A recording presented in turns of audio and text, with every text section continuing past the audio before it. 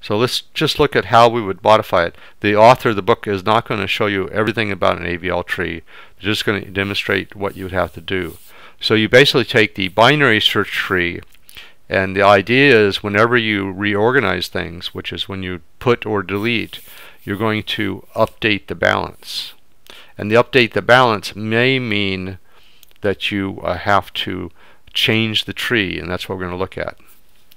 So basically, this is the put from the book uh, for the binary search tree, and you have to add just two new lines.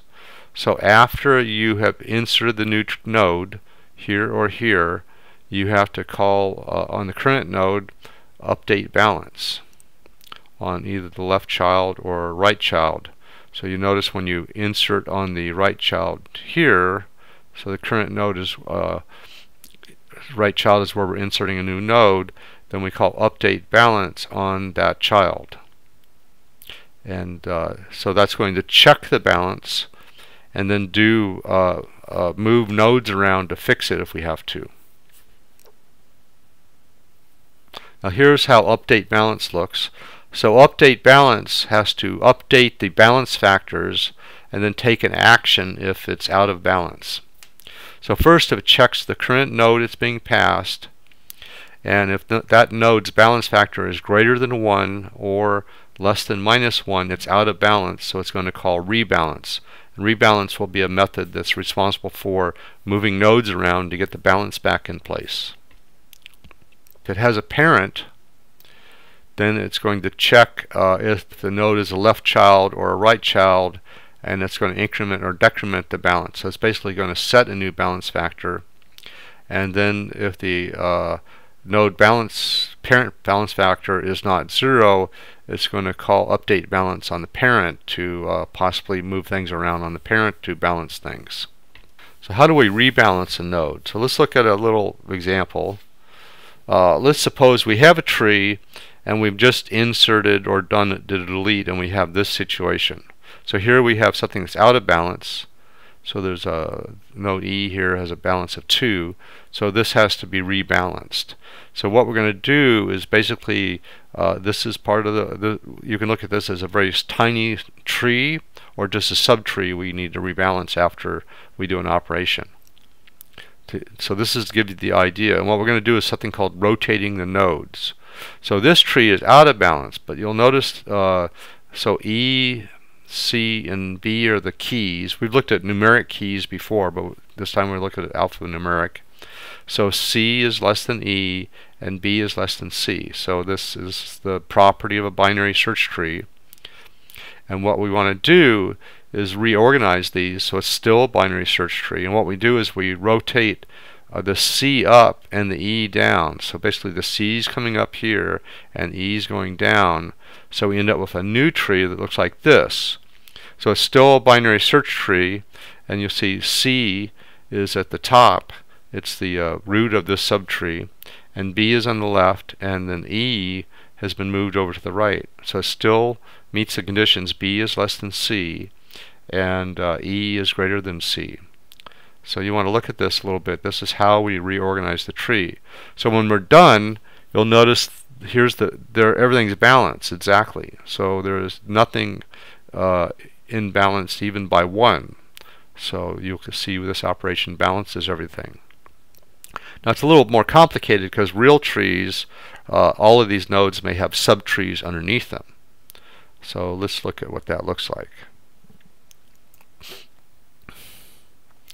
Okay, here we're looking at the same situation. We have E, C, D, and we're going to right rotate so the BCE becomes BCE. But here we're showing all the subtrees that are possible underneath these nodes.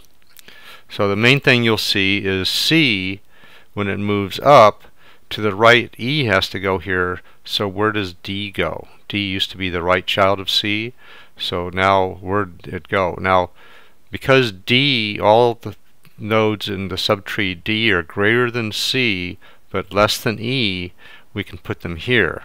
So now they're less than E, but they all have to be greater than C because this subtree is part of this larger subtree which is greater than C.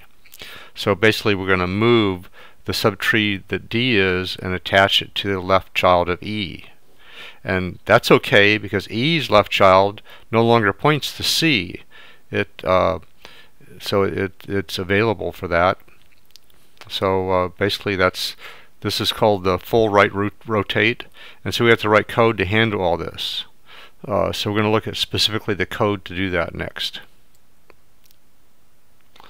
Okay, so here we have the code for doing a right rotate. Um, the left rotate is going to be uh, symmetrical to this, and left rotate will will cover some diagrams of that later. And there's some other rotates we have to do to balance things. Uh, but you'll notice there's a diagram here that shows what's going on. So this shows you the the uh, basically these green is the original three nodes we're going to rotate. That's from the previous slide. And it shows the uh, balance factors and everything. And these can all point to subtrees. So we're just showing the top node of those subtrees. Now remember, the subtrees may not exist. These may be null. So we have to. That's what the ifs primarily are checking if uh, there actually uh, is a null subtree or not, so it can skip some steps. This shows the final rotate. So here we have B, C, and E are rotated. Um, and this shows you D is moved over to be the left child of E, where it was the right child of C. So these numbers here are all the th changes we have to make. Um, so you can see we're going to have to, if since C becomes the new root, whatever's above the subtree, the parent links uh, left or right have to change.